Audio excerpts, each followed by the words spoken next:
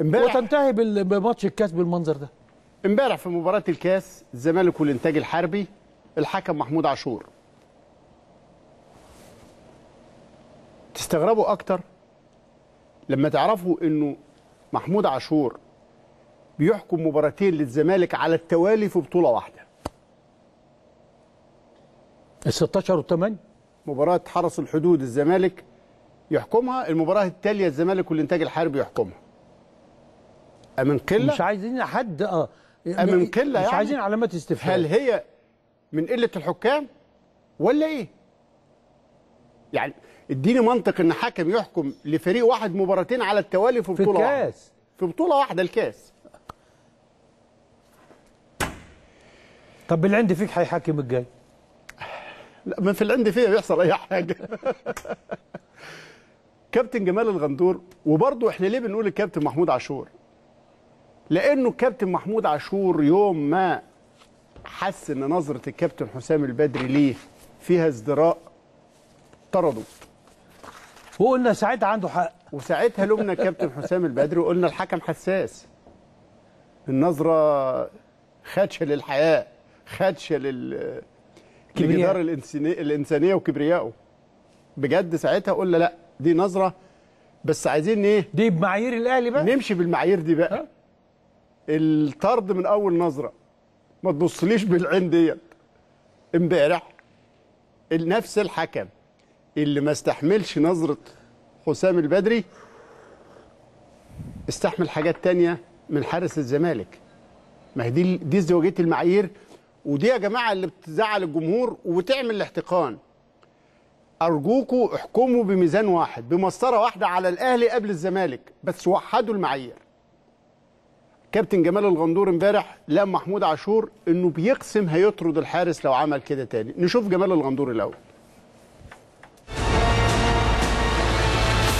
اشتباك بين الاثنين وتدخل آه، طارق سامي وفض الاشتباك الأول ثم يفض الاشتباك الثاني مع نفس لاعب الإنتاج ولاعب آخر من نادي الزمالك وثم يذهب محمود عاشور إلى الحارس ويتعلم الدرس مما حدث في مباراة الأهلي والزمالك يوم الخميس الماضي. هنشوف هنا من الممكن هنا ان يكون في مخالفة على جنش لإنه استخدم إيده. هل الكرة كانت داخل الملعب ولا خارج الملعب؟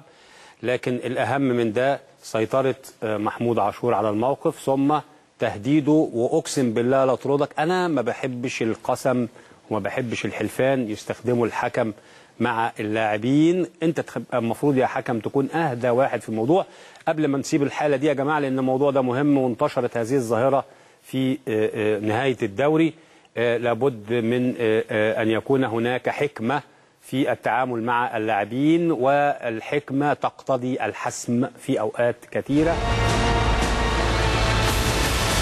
ال- الكرة دي إيه؟ الكرة في الملعب ولا بره الملعب؟ في الملعب. و- طيب. جنش ماسك الواد اللاعب آسف تاني ماسك اللاعب بتاع الإنتاج في ال 18 إيه دي؟ حسابها إيه؟ أقسم بالله لا اطردك طيب.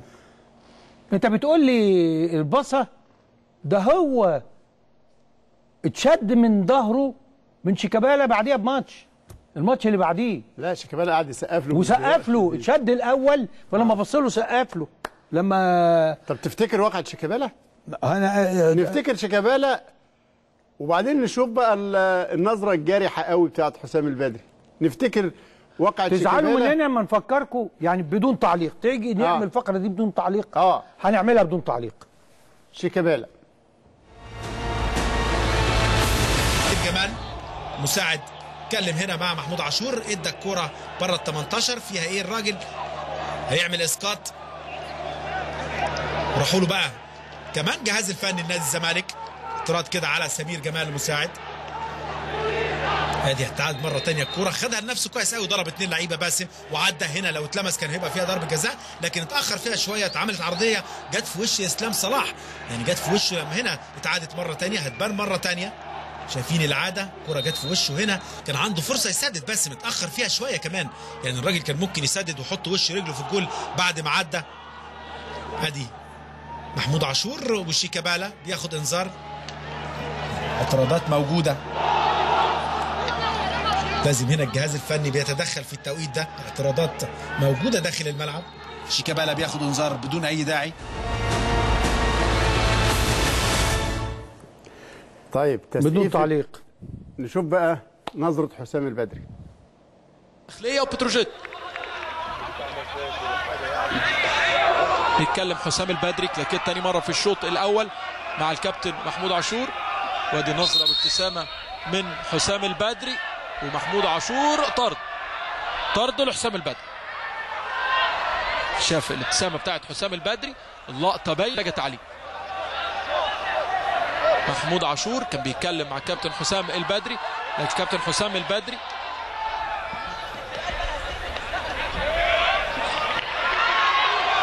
هيغادر الملعب والمنطقة الفنية. هيتابع اللقاء من المدرجات. الدقيقة 42 من عمر الشوط الأول.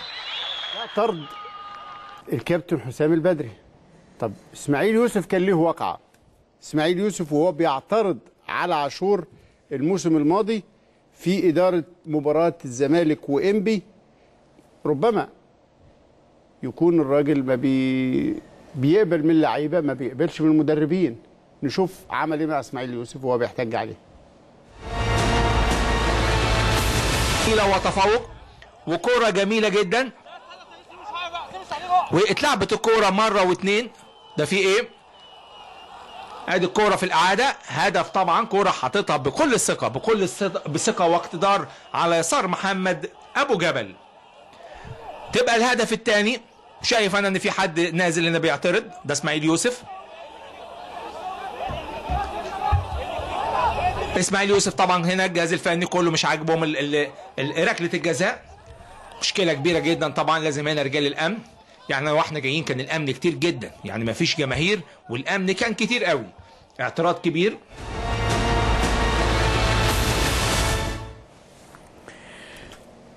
ماشي. هو حسب المود. البصة أخطر من كل ما شاهدناه من التسقيفة ومن الجذبة ومن الزعيق ومن محاولة اقتحام الملعب والت- والتوجه إليه. آه، حتى حسام عاشور ومحدش بيدافع لا عن سلوك حسام عاشور ولا على نظرة حسام البدري البدري وقلنا خلاص انت طردت الناس دي. فقط آه. وحد المعايير سيادتك. واحد المعايير. هو هو نفس. الكابتن حسام عش... آه محمود عاشور. حسام عاشور. بيسلم بطريقة قلنا إن هي لا تليق طردوا محمود عاشور نفكركم بيها. الإنتاج الحربي اوميد اوكري وجونيور اجاييه بيتعادل وطرد طرد في آخر اللقاء. أعتقد الطرد لحسام عاشور. هنشوف عموما أحداث ما بعد اللقاء في الاستوديو مع الجنرال الكابتن مدحت شلبي ونجوم تحليل أون سبور. تحياتي مؤمن حسن.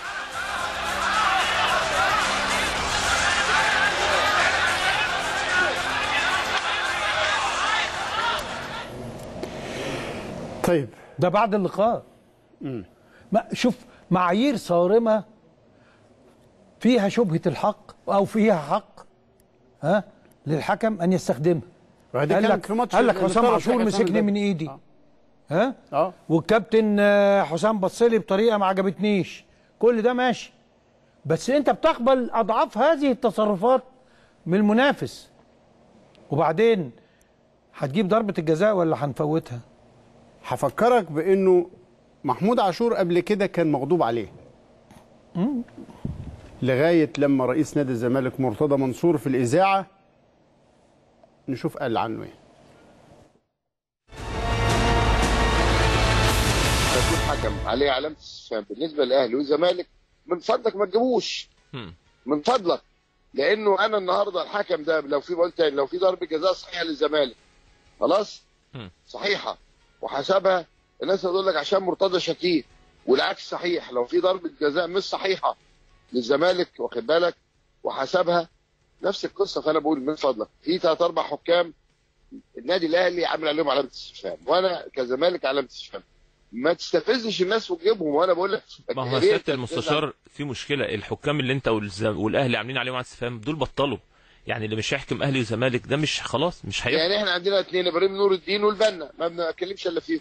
خلاص عاشور ربنا هداه بعد ما رجع معاه يعني آه. حجيت معاه حجيت. معاه انت طبعا. حجيت معاه. حجيت معاه وقابلته آه. آه. أنا ما عرفتوش على فكرة. لما قابلته ما عرفتوش لأنه كان حالق زلبطه و... و... ولابس جلابية بيضاء ما عرفتوش والله. خلاص في مطار جدة. إحنا تابعين على فكرة في مطار كده تمزيت يعني. ف طبعا تعرف كان ثوره سليمان هناك وهاني أبو ريدة وهاني- فعرفوني قالوا لي فلان. آه. واخد بالك؟ ربنا يهدينا جميعا يا رب كلنا بإذن الله تعالى. لكن يا جماعة التحكيم.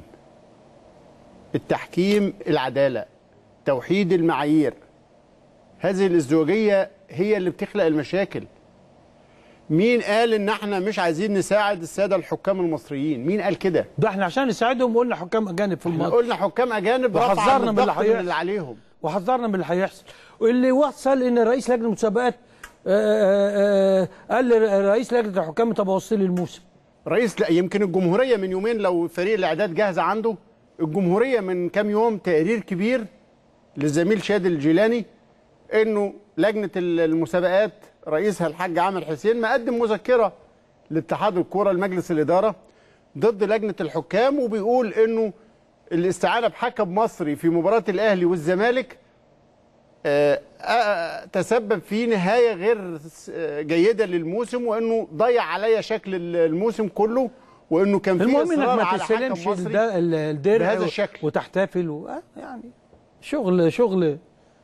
وقال حتى ال- الحاج في حسين مهمة جدا هو ليه ما. بقاش في حكام أجانب؟ ما دام في لعيبة أجانب وفي مدربين أجانب. اتفضل. الصورة اللي المهندس اتفضل يا بيسال سيدي. عليها. آه. اتفضلوا. آه، دي بقى اللي فعلا بدون تعليق.